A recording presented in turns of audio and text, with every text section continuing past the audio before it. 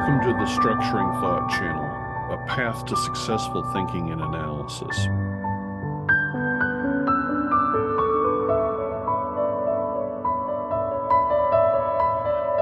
We are facing certain problems in current education. We have angry people. We have lots of attempts at communicating either by talking face to face, electronically, using multimedia.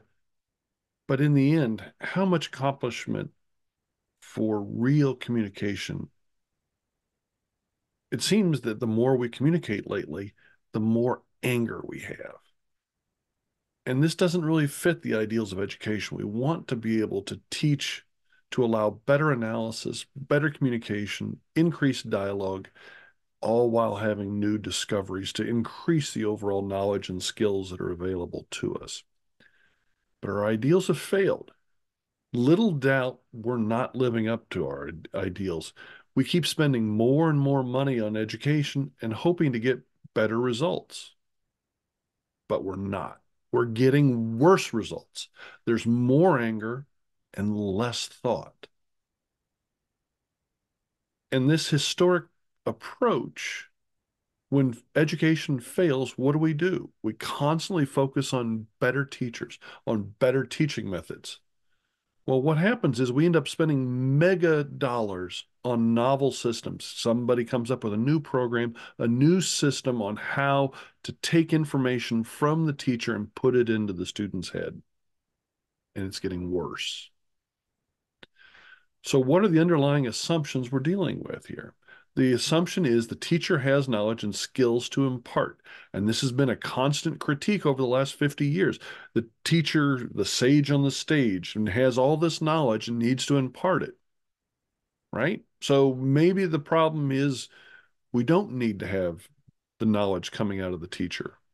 Instead, we need to play Houdini and hide the knowledge, have the students discover what the trick is to having these knowledge and skills. But no matter what, we still have the teacher at the center. Is the problem the teacher at the center, or is it something else? This channel is all about challenging existing assumptions. Why are we constantly focused on the teacher and teaching methods? have we really thought about again afresh what do all lessons have in common well the customary answers since john dewey in the 1890s was the child is the center of all learning so we need to focus on the child well what successes and failures have we gotten out of that is there really a different answer that we could be pursuing the purpose of this channel is to inquire into possible new assumptions. We know that all lessons come from within the student. What do we mean by that? The purpose of education is to implant knowledge and skills in students. But there's a major difference. The whole notion from John Dewey onward has been the teacher needs to plant the knowledge and skills the student needs to know for the future. The teacher needs to be a fortune teller, needs to be able to read a crystal ball, to be able to see the future in a way that nobody else can and come up with just the right lesson to accomplish that. And our underlying purpose in all this is to challenge that crystal ball fallacy. The notion of education can't be to know the future in some impossible manner. We have to deal with the fact that all knowledge and skills come from the past.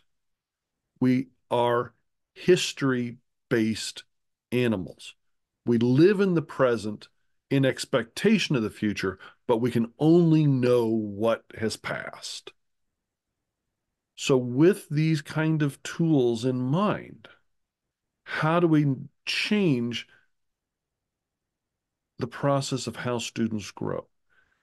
If we quit thinking we can know what the future holds for us, how does that change the educational process? And I suggest to you, it has massive impacts.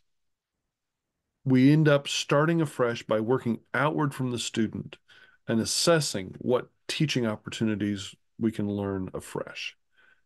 So we hope you enjoy the opportunities to address some of these things and to really challenge what the notion of education is.